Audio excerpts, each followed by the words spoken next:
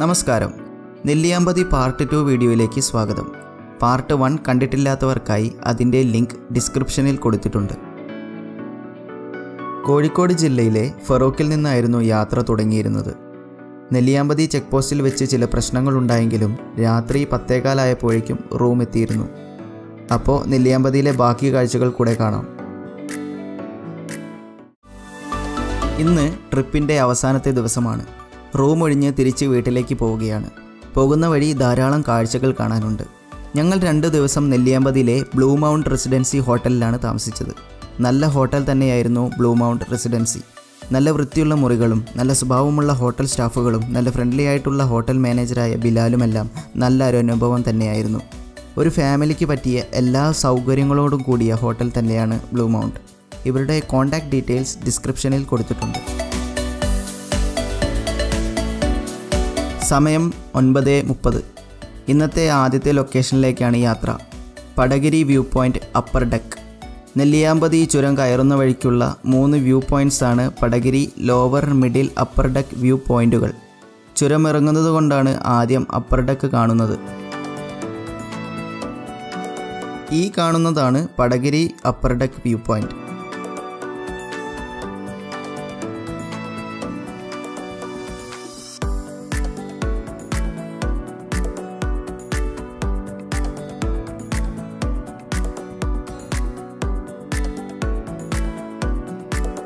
view പോയിന്റിന് സമീപമുള്ള ഒരു ക്ഷേത്രമാണ് ഈ കാണുന്നത്.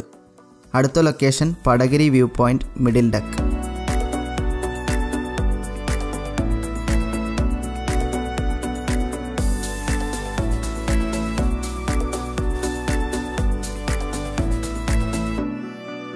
ഇതാണ് middle deck view point.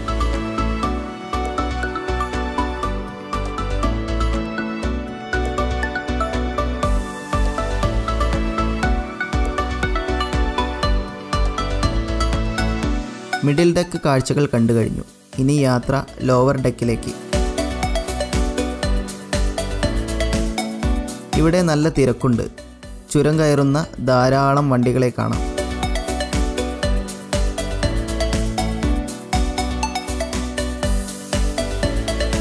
Plastic നിരോധിത മേഖല എന്ന് എഴുതി വെച്ചിട്ടുണ്ട്. അതിന്റെ ചുവട്ടിൽ തന്നെയാണ് പ്ലാസ്റ്റിക് വലിച്ചു വാരിയിട്ടിരിക്കുന്നത്. ഒരു വേസ്റ്റ് ബാസ്ക്കറ്റ് കാണുന്നുണ്ട്. വേസ്റ്റ് മൊത്തം ബാസ്ക്കറ്റിന് പുറത്താണെന്ന് മാത്രം. കുരങ്ങന്മാർ വലിച്ചു പുറത്തിടുന്നതായിരിക്കും. പോണ വഴിക്ക് നല്ലൊരു വ്യൂ കണ്ടപ്പോൾ വണ്ടി സൈഡാക്കി. പോത്തുണ്ടി റിസർവോയറിന്റെ ഭാഗമാണ് ഈ കാണുന്നത്.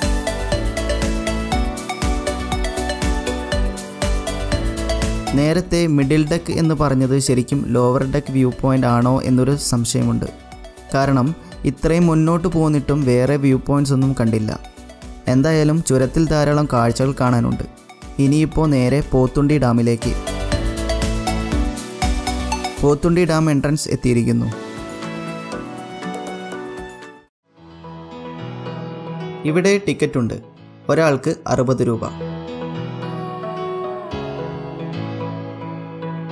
ഡാമിന് സമീപമായിട്ട് ഒരു ചെറിയ പാർക്കുണ്ട്. നല്ല രീതിയിൽ പരിപാലനം ചെയ്യുന്ന പാർക്ക് തന്നെയാണ്. കഴിക്കാൻ ചെറിയ ഐറ്റംസ് ഒക്കെ ഇവിടെ കിട്ടും.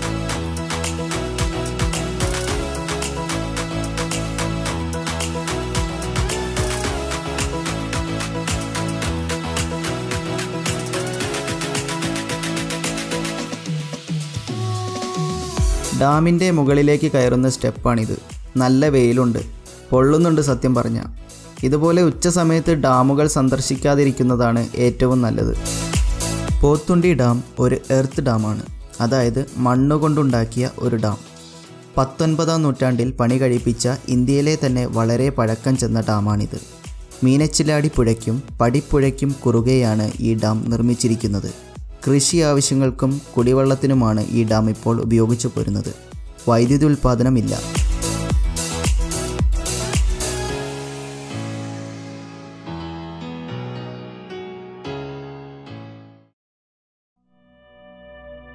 ഇനിയിപ്പോൾ അവസാനത്തെ ലൊക്കേഷനായ വരിക്കാശ്ശേരി മനക്കൂടെ കാണാനുള്ളൂ.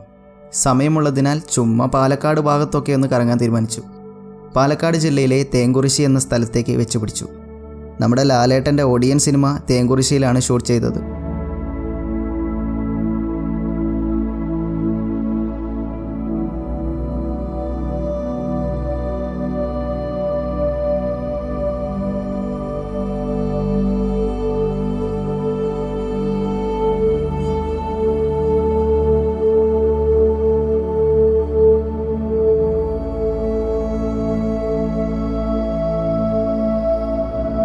തേങ്കുറിശ്ശിയിലേക്ക് ഇനി ആറ് കിലോമീറ്റർ കൂടെ.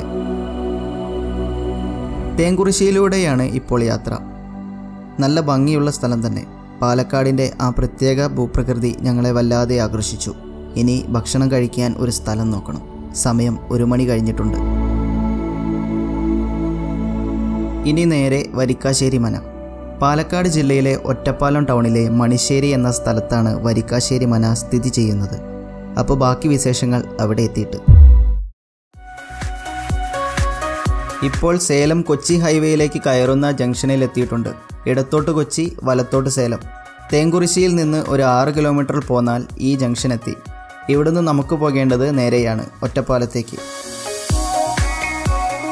കുഴൽമണം പെരിങ്ങോട്ടുകുറിശ്ശി റോഡിലൂടെയാണ് ഇപ്പോൾ യാത്ര. പരിക്കാശ്ശേരി മനയിലേക്ക് ഇനി നാൽപ്പത് കിലോമീറ്റർ കൂടെ പോകാനുണ്ട്. ഒരു മണിക്കൂർ യാത്ര. സമയം രണ്ട് ഇരുപത്തിയേഴ്. പത്തിരിപ്പാല എത്തിയിട്ടുണ്ട്. കുഴൽമണം ജംഗ്ഷനിൽ എത്തിയപ്പോൾ ഒന്നേ അൻപതായിരുന്നു. അപ്പോൾ ഏകദേശം അരമണിക്കൂർ കൊണ്ട് പത്തിരിപ്പാല എത്തി. ഇനി ഒരു അരമണിക്കൂർ കൂടി. ഒറ്റപ്പാലം എത്തി. ഇവിടുന്ന് നേരെ മണിശ്ശേരിയിലേക്കാണ് പോകേണ്ടത്. ഇതാണ് മണിശ്ശേരി ഇവിടുന്ന് ഇടത്തേക്കുള്ള വരിക്കാശ്ശേരി മന റോഡിന് പോകണം. മണിശ്ശേരി എത്തി ആരോടെങ്കിലും ചോദിച്ചാൽ മതി.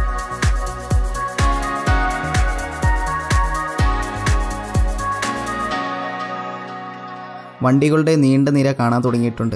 അപ്പോൾ സ്ഥലമെത്തി. സമയം രണ്ട് അൻപത്തൊന്ന്. ഇനി കാർ നിർത്താൻ ഒരു സ്ഥലം നോക്കണം.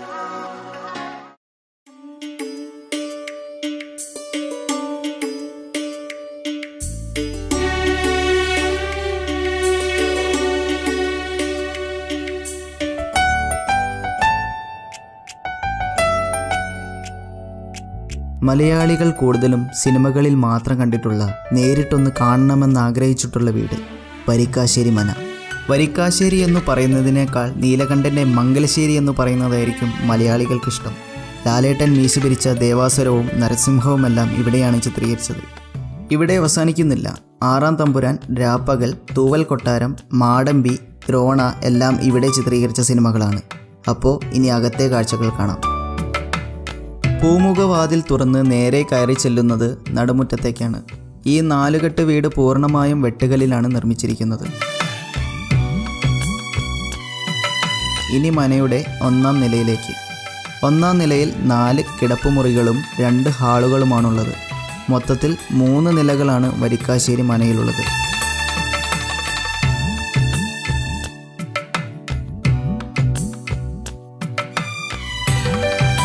പൂമുഖത്തിന് മുകളിലായിട്ടുള്ള തുറന്ന ടെറസാണ് ഈ കാണുന്നത്.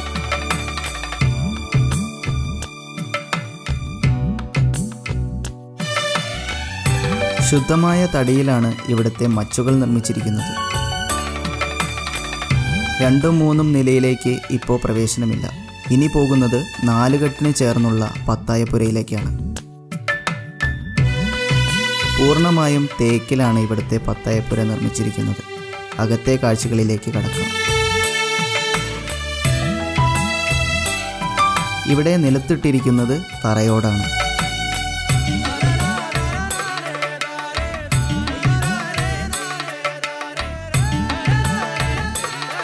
ജയറാമേട്ടന്റെ തൂവൽ കൊട്ടാരം എന്ന സിനിമയിലെ ചില സീനുകൾ ഈ പത്തായപ്പുരയിലാണ് ചിത്രീകരിച്ചിട്ടുള്ളത്.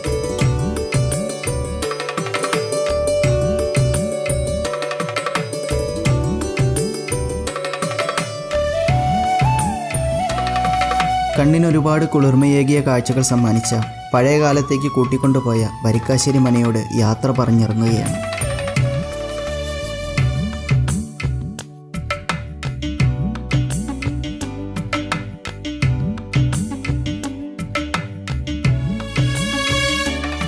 സമയം വൈകുന്നേരം നാലേകാലായിട്ടുണ്ട്. കടുപ്പത്തിലൊരു ചായ കുടിച്ച് തിരിച്ച് വീട്ടിലേക്കുള്ള യാത്ര തുടരുകയാണ്. അങ്ങനെ ഈ മൂന്ന് ദിവസത്തെ പാലക്കാടൻ അനുഭവങ്ങൾ ചേർത്ത് പിടിച്ച് തിരിക്കുകയാണ്. യാത്ര ഇവിടെ അവസാനിക്കുന്നില്ല. പുതിയ യാത്രാനുഭവങ്ങളുമായി ഞങ്ങൾ വീണ്ടും നിങ്ങളുടെ മുന്നിലേക്ക് വരുന്നതാണ്. അതുവരേക്കും നന്ദി നമസ്കാരം.